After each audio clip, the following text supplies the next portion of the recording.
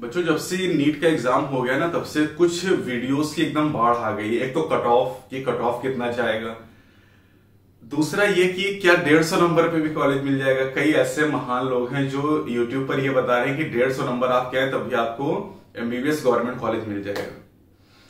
तो पहले तो हम बात करते हैं थोड़ा सा कट ऑफ़ के बारे में, कि जो कट ऑफ़ बताया जा रहा है बेटा, ये एक्सपेक्टेड कट ऑफ़ है, कि इतना हो सकता है। मतलब कोई भविष्य वक्ता नहीं कि भविष्य के बारे में बता सकता है। ये बस एक एक्सपेक्टेड होता है कि भाई बच्चों से बात करके और ये पता चलता है कि कहाँ पे कट ऑफ़ रहेगा। जैसे पिछली साल की बात करें, नीट 2020 का जब पेपर हुआ तो उस पेपर के बाद सबने बताया कि 570 580 कट ऑफ़ जाएगा और कट ऑफ़ 606 नंबर 605 नंबर चला गया। अब इस बार भी वही कहानी चल रही है है ना? लोग कह रहे हैं कि पिछली बार से पेपर टफ आया तो टफ पेपर आने की वजह से जो कट ऑफ़ है पिछली बार से थोड़ा सा कम जाएगा। तो मतलब अलग अलग एजम्पन है। तो इसमें किसी को आप ब्लेम नहीं कर सकते हैं। भाई, उसका मन है वो बता रहा है। किसी का मन है एक्सपेक्टेड कट ऑफ़ कहने का कि 200 है तो 200 बता देगा। आप कुछ ब्लेम थोड़ी कर सकते हैं उसको, क्योंकि एक्सपेक्टेड है, ऐसा हो सकता है।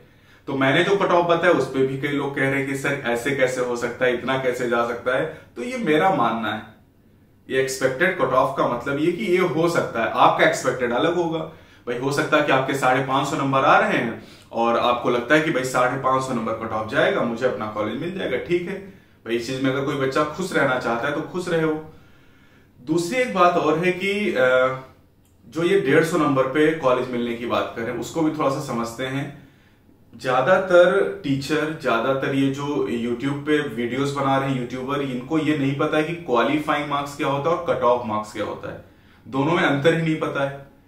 जब आप नेट पे सर्च करते हैं कि नीट 2020 कट ऑफ़ या नीट 2021 कट ऑफ़ तो नीट 2020 का जो कट ऑफ़ दिखाएगा आपको, वो एक नीट 2020 की वेबसाइट से एनटीए की वेबसाइट से वो दिखाएगा कि भाई cut off 130 number 140 number 147 number ऐसे दिखाएगा, वो क्वालिफाइंग मार्क्स है।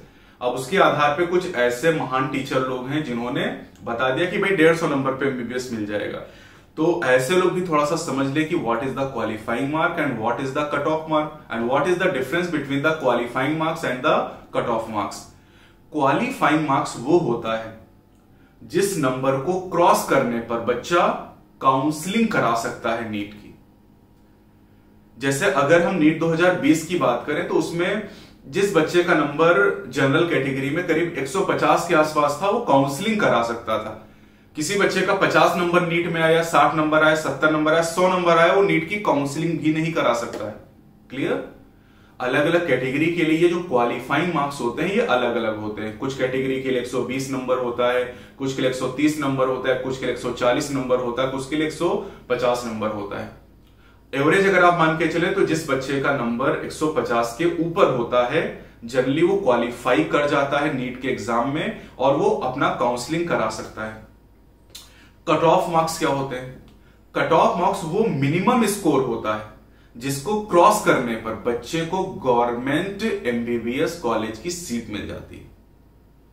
जैसे पिछली बार 606 नंबर जनरल कैटेगरी का कट ऑफ़ था। इसका मतलब यह हुआ कि अगर आप जनरल कैटेगरी में 606 नंबर आपने पाए हैं तो आपको एमबीबीएस गवर्नमेंट कॉलेज की एक सीट मिल जाएगी। ये होता है कट ऑफ़ लेकिन क्वालिफाइंग मार्क्स ये होता है कि वो मिनिमम कट ऑफ़ जिससे ज़्यादा नंबर पाने पर बच्चा काउंसलिंग करा सकता है। तो अगर आप जनरल कैटेगरी के आपके डेढ़ सौ नंबर आए, एक सौ इक्यावन नंबर आए तो आप काउंसलिंग करा सकते हैं। लेकिन हर काउंसलिंग कराने वाले बच्चे को कॉलेज नहीं मिलेगा। लेकिन हर कॉलेज पाने वाले बच्चे ने काउंसलिंग ज़रूर कराई है। ऐसा कुछ बायो में आप पढ़ते नहीं है कि आल को फैक्टर आर कुछ ऐसा पढ़ते हैं ना?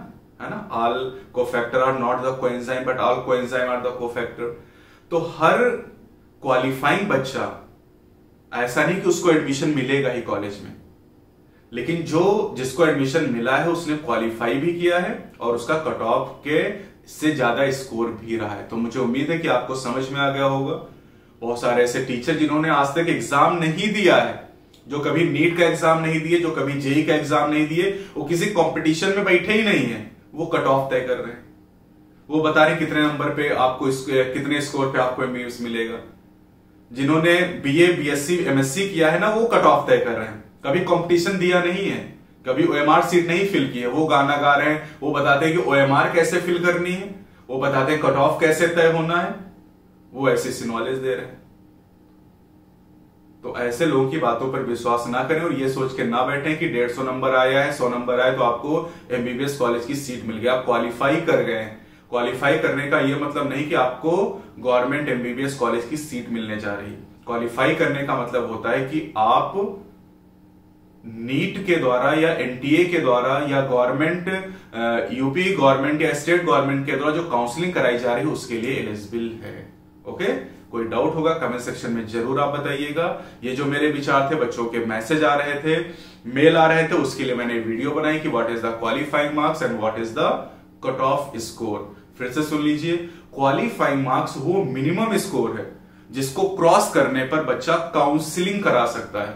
और कट ऑफ़ स्कोर वो मिनिमम स्कोर है, जिसको क्रॉस करने के बाद बच्चे को गवर्नमेंट एमबीबीएस कॉलेज की सीट मिल सकती है। ओके तो जल्दी मिलते हैं। बाय बाय बच्चों।